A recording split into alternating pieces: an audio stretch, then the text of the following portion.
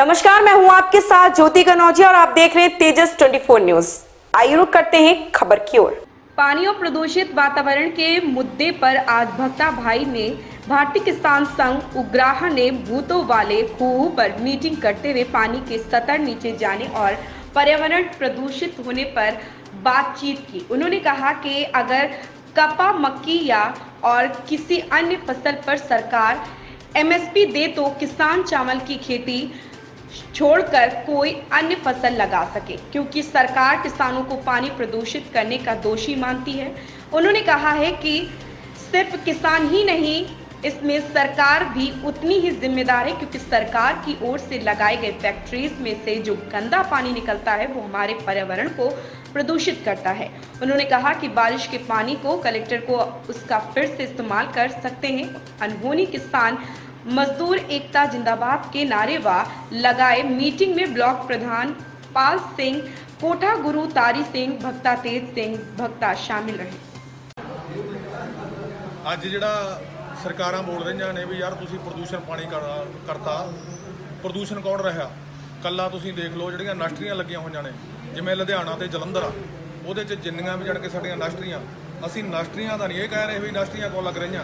ਉਹਦਾ ਜਿਹੜਾ ਪਾਣੀ ਆ ਉਹ ਚੱਕ ਕੇ ਕਿਵੇਂ ਕੋਈ ਚਮੜੇ ਵਾਲੀ ਆ, ਕੋਈ ਕਾਸੇ ਵਾਲੀ ਆ,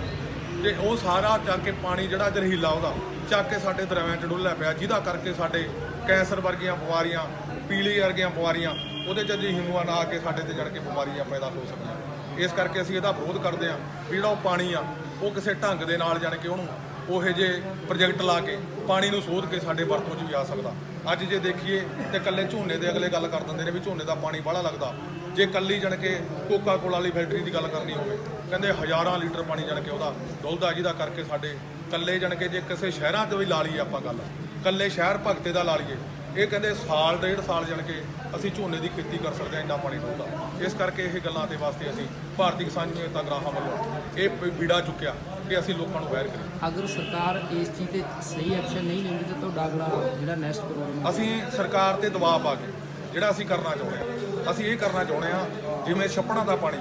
ਜਾਂ ਜਿਹੜੇ ਜਾਣੀ ਕਿ ਸਾਡੇ ਮੋਗੇ ਜਦੋਂ ਸਿਆਲ 'ਚ ਅਸੀਂ ਪਾਣੀ ਨਹੀਂ ਲਾਉਂਦੇ ਉਹਨਾਂ ਦੇ ਮੋਗਿਆਂ ਮੂਰੇ ਜਾਣੀ ਕਿ ਬੋਰ ਕਰਕੇ ਪਾਣੀ ਰੀਚਾਰਜ ਕਰਿਆ ਜਾ ਸਕਦਾ ਜਾਂ ਸਾਡਾ ਰੀਚਾਰਜ ਇਹ ਕਰਕੇ ਕਰਿਆ ਜਾ ਸਕਦਾ ਜਿਹੜਾ ਸਾਡੇ ਮੀਂਹਾਂ ਦਾ ਪਾਣੀ ਆ ਜੇ ਆਧਾਰ ਤੌਰ ਤੇ ਵੀ ਦੇਖਣਾ ਹੋਵੇ ਤਾਂ ਜਾਣੀ ਕਿ ਸਾਡੇ ਜਾਣੀ ਕਿ ਸੰਸਥਾ ਜਿਹੜੀ ਬਣੀ ਹੋਈ ਆ 366 ਕਿੱਲਿਆਂ 'ਚ ਦਿੱਲੀ 'ਚ ਉਹਦੇ 'ਚ ਕੋਈ ਬੋਰ ਨਹੀਂ ਕੋਈ ਕੁਛ ਨਹੀਂ ਥੱਲੇ ਤੋਂ ਪਾਣੀ ਨਹੀਂ ਲੈਂਦੇ ਉਹਦੇ 'ਚ ਸਾਰਾ ਜਾਣੀ ਕਿ ਮੀਂਹਾਂ ਦਾ ਪਾਣੀ ਇਕੱਠਾ ਕਰਕੇ ਉਹਦੇ 'ਚ ਨਹਾਉਂਦੇ ਆ ਉਹਦੇ ਨਾਲ ਹੀ ਫੁੱਲ ਬੂਟਿਆਂ ਨੂੰ ਪਾਉਂਦੇ ਆ ਤੇ ਅਸੀਂ ਕਿਉਂ ਨਹੀਂ ਕਰ